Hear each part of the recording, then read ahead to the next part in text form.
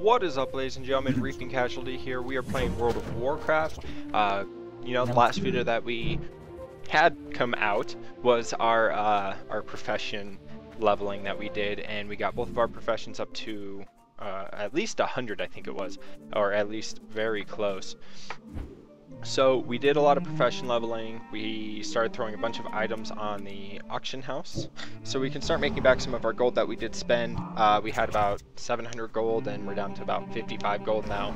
So we have spent quite a bit regarding uh, gold-wise, but not really a whole lot. Uh, I'd say it's, it's a lot compared to what I had. So we, uh, we did do our profession leveling, so we got that up. We're still to be working on that as we go. This is going to be leveling 38 through 40. And uh, hopefully we can hit 60 here soon because I'm getting tired of having to ride a ground mount everywhere and I'm really ready to start flying. So we're going to need to make sure we have gold for that as well. Um, couple problems I had during this episode, I actually had Fraps set to record to save all my footage on the wrong hard drive. So you're going to see some uh, frame rate issues most likely uh, throughout the game here, uh, but it does get fixed towards the end. You might not even notice it notice it because I have sped up the footage uh, like I usually do. So this is going to be also quite a bit longer commentary than normal. I think it's going to be sitting pretty close to about 18 minutes. Um, Usually we have them sit at about 10 minutes, but right now it's sitting at about 18 is what it looks like. Uh, I may be a little off on that though. And that's just because Sony Vegas does not like to give me an exact time. Um, yeah, pretty close to 18 minutes is what it's looking like. So, anyways, um, man, so hopefully my sleeping schedule will get fixed today. Uh, I talked about that in my Minecraft video. If you guys haven't seen that, go check it out and tell me what you guys think of that. Um, but yeah, so I've been having some sleeping problems, and I'm hoping tonight it will get fixed. I'm kind of tired, uh, not not real tired, so you guys aren't really able to tell in my voice. Uh, but yeah, that's pretty much everything that's been going on. Is I've just been on an absolutely terrible sleeping schedule. Uh, you know, I've recorded some footage for World of Warcraft, some footage for Minecraft. Um, I think I'm going to just keep those two series. I might throw out some Far Cry 3 videos here and there but not a full series of it. Uh, I've been having tons of fun with that game. that thing heats up my video cards though very fast, and I need to get an aftermarket cooler or fan uh, on my case so that way it can keep it a little bit cooler. Uh, about two hours of gameplay is all I can get, and then I have to let it sit for about 30 minutes so my cards can cool down, and then I can go back and start playing again. So that kind of sucks. That's the only game that has done that. Uh, thankfully, I'm going to be upgrading all of my parts here. March is what I'm hoping. February, March. Uh, I'm going to be doing it with the taxes I get back. As long as I'm financially good, though, then I'll be able to do it. So, and I'm going to get get a pretty nice setup going. Uh, quite a bit nicer than I have here. I'll have uh, two gaming PCs at that point because this is going to be a fresh build and it's going to be uh, a lot faster than what my current system is uh, and I'm going to be able to render videos so much quicker. It's going to be amazing. Uh, usually about a 10 minute video will take about 45 minutes. Not real bad. Uh, but anything after 10 minutes starts going up to about an hour hour and a half. If I do this video will probably take about two hours to render two hours and 30 minutes roughly. Uh, so that's quite a jump from 45 minutes to an hour to you know two two and a half hours just for a 10 minute difference. Uh, pretty crazy but that's going to be all getting uh, going quite a bit faster here soon, which I am extremely excited for. Uh, Christmas is coming up. I have my little list that I want my wife to get me. She has her little list that she wants me to get her. And then we got all my daughter's stuff done and out of the way. So we just have a couple presents to spend. This is the only time of year that I absolutely hate. And it's not because it's Christmas and I get to spend time with my family. I love that part. However, I have my daughter's birthday, my two of my nephew's birthday, and one of my niece's birthday, all on this month, plus Christmas presents for 12 nieces and nephews, uh, my brother and sister-in-law, my sister and brother-in-law, my mom, um, you know, my wife and my daughter. It gets to be an extremely expensive time of year, uh, and it kind of it, it's kind of a bummer because like everything I make, I have to save up all my money two months beforehand, and that all goes to everyone else, and I don't get to enjoy the money as much. But I get to have fun when I get to watch all my nieces and nephews, my little girl, open up their presents on Christmas, and that's what really makes it special. It's not receiving items, and people have Christmas backwards, you know. Uh, Christmas isn't meant to be. Uh, Christmas isn't meant to have stuff provided to you. Um, it, it's meant to give, and that's where we fail at as a society is we don't really give enough. Uh, there's people out there who can give a lot, and they don't want to receive in return uh, for what they gave, which is awesome of them. Um, you know, it's we, we need to make more of an effort to be able to give to people who are less fortunate than us, and we really take that for granted, especially around this time of the year. Uh, you know, I mean, you see kids who say, you know, oh, I better get an Xbox for Christmas. This is what I want, and then they throw a fit if they don't get it, and it's really amazing on how narrow-minded people can be when it comes to getting what they want compared to getting what they need. Uh, when I say getting what you need, I mean by you know food, clothes, uh, you know necessities of life. Video games aren't a necessity; they're an extension that we get to have a privilege of partaking in, and that's what's you know that's what this is all about. Is you know me being able to play these games is a huge privilege, and I'll never take it for granted.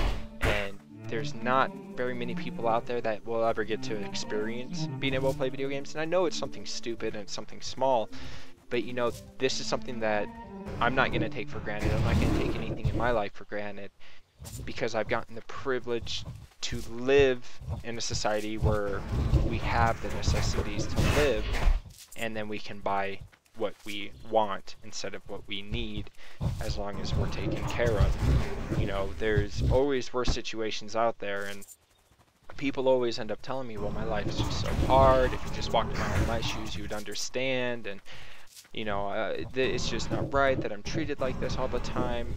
And usually when they tell me that, I go, you know what, stop right there you're telling me your life is so terrible, yet you have an iPhone, you have a car, you have a big screen TV, you have a roof over your head, food on the table, and warm clothes. And you want to tell me your life is terrible? No, it's not terrible. Why don't you go and, you know, live somewhere where it's going to be 110 degrees every single day and you have to walk two miles down to a stream to get water that is completely dirty and filthy, and then you have to go and try and hunt all your food so that way you can live. Your life is not terrible. Your life is a blessing that you have taken for granted. And there's always someone out there who has it worse than you. And that's where this whole, you know, suicide and everything else comes into play is these people looked for an easy way out of their life. And I'm not trying to offend anyone. If you've had family that's committed suicide, I know what you're going through. I've had that happen in my family, and it sucks. It really does. Thankfully, they weren't successful, and they haven't ever attempted it since. But it sucks, and my condolences to you. This is in no way to offend you or anyone else, but suicide is never the answer because it does nothing but hurt your loved ones in return for you to release your pain that you're going through because you're bullied or because something temporary in life. Everything is temporary in life and nothing's going to be forever. There is not one thing that can last forever in your life. It's whether you make the choice to make it better or not. And if you aren't making that choice to make it better, why? Why don't you care enough about yourself to try and make it better? Why don't you want to have that nice life? You know, there's people out there all the time who go, oh, well, I'm just so poor. I don't have money for this. I can never do this. I don't, I can barely afford food.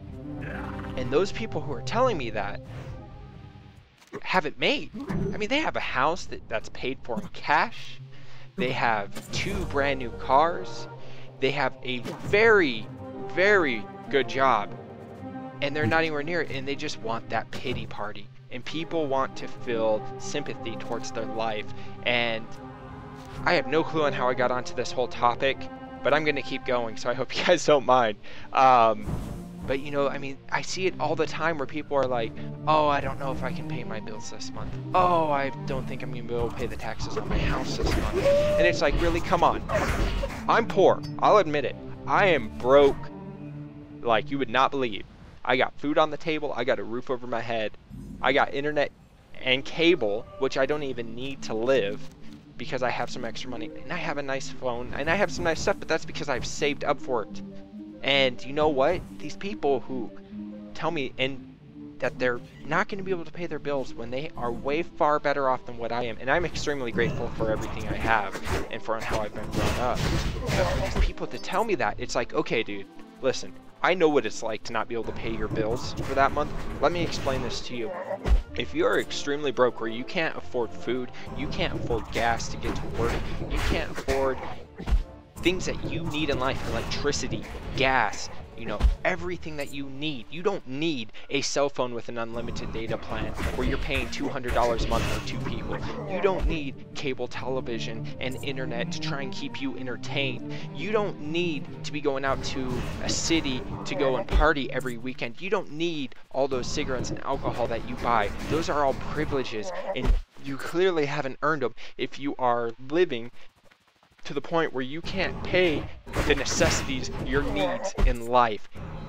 What are you thinking? Are you an idiot? And they're just like, well, maybe I'll cut back on it. And then they go back the next month and they start whining about the same thing. And all they want is the sympathy of, oh, I don't think I'm going to be able to make it this month. Oh, I think I'm going to be living out on the street. What do you want me to do? Give you my money that I worked hard for? No, that ain't going to happen. What's wrong with you? And I see that all the time and then their kids grow up to be the same mindset where they think they're broke all the time when they're not. And they have to have everything that they set their eyes on and they throw huge fit. If they don't and it's because they were spoiled. And it's not the child's fault. It's the parents fault for giving in to it. Don't ever blame the child for that crap. I mean here's the thing. If i go ahead if you're my kid you're my kid all right? You're, you're my little child. You're underneath my wing here and I go out and I buy you an Xbox, PlayStation 3, I buy you every game that you want, a nice PC. I go ahead and I buy you a nice, huge flat screen TV for your room. You get a MacBook. You get every single thing your heart desires. And I tell you no to one thing, you're going to throw a fit because you've gotten all that stuff before and you don't understand why you can't get that one item that you've been wanting. Everyone's gonna call you spoiled. Everyone's gonna blame it on you, but it ain't your fault that you, that your parents went out and bought you that stuff. It's your parents' fault. Plain and simple. Um, you know, and I see that happen a lot. And then, oh, people just drive me up a wall, guys. People drive me up a wall like you would not believe. And that's not that I don't like people. I like people. I like talking to people. I like talking to you guys. It's the stupidity of people I don't like. And there's a lot of that in this society. I mean, and and granted, I'm, I'm not to lie. I'm American, so I can say this, right? There are more retarded Americans than anything. And that may have sounded completely stupid. I'm cool with that. Whatever. But there's so many idiots out there. It is unbelievable. And it and it's because of that whole no child left behind bull crap. That we're just going to push our children through school we're not going to even worry about the grades. And then you have the children who are like, well, I don't want to go to school anymore because it sucks. Well, you know what? Smack them over the head, give them a spanking, do what you have to do to whip them into shape, and uh, make them go to school. Don't let them be lazy. If they're going to be lazy now, they ain't ever going to become, uh, they, they aren't going to stop being lazy. You ain't helping them, you're enabling them. And, uh, yeah, don't want to do that. I mean, and I don't even know where this all came from. No one made me mad recently. No one has irritated me. I haven't even had seen this within like the past week. I just started talking about it. it's the first thing that came to mind. But it's crazy on how people will act when they get when they can't have what they want and they can only have what they need. And even then there's people out there who will take what they want, but they won't take what they need.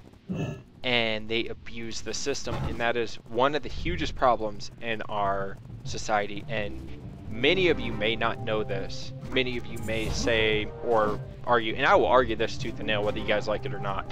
Um, one of the biggest problems in America, if I have anyone who's not in America that's watching this, one of our biggest problems is And part of the reason why the economy is the way it is and is not getting better is because you have people who are on food stamps that don't need it. You have people who are taking health insurance, uh, governmental health insurance like Medicaid, that do not need it.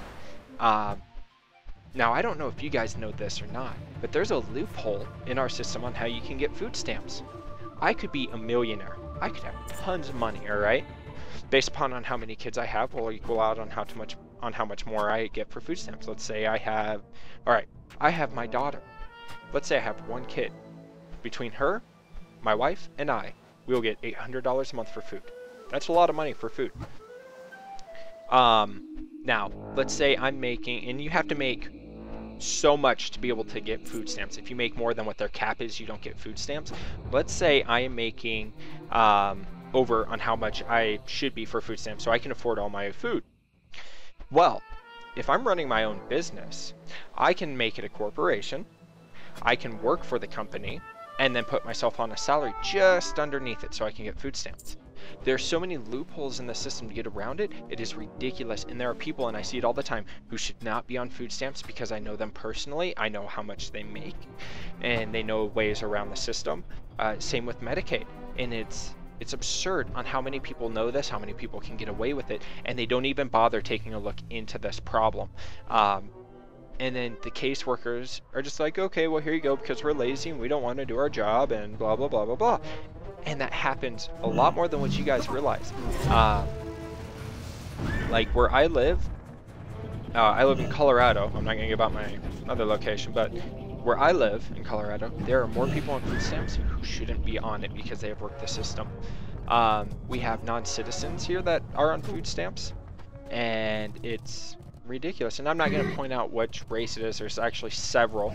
Um, but it's ridiculous on how many people take advantage of the system and on how the system is broken.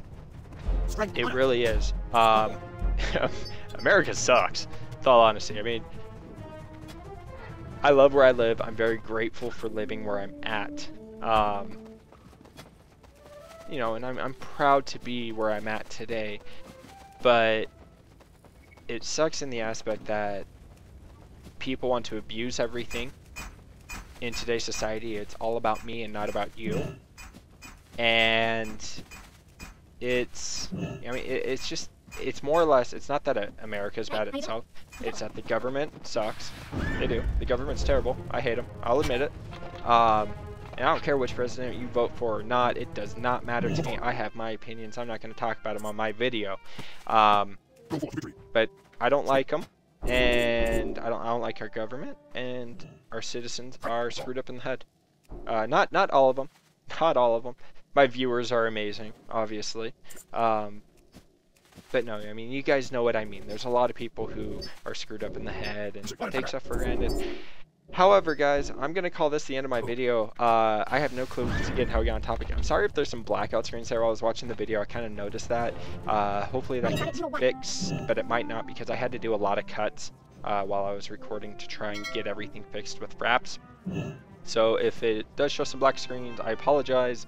Those will be fixed by the next video. Anyways, though, guys, if you guys enjoyed the video, go ahead and give me a thumbs up. Leave me a like. Uh, go ahead, you know, tell me what you guys are excited for Christmas. What your favorite part of Christmas is, what you guys are looking forward to. Uh, you know, and uh, yeah, that's that's pretty much it, guys. I will see you guys again in the next video. Don't forget to click subscribe, and until next time, I'll see you guys again later.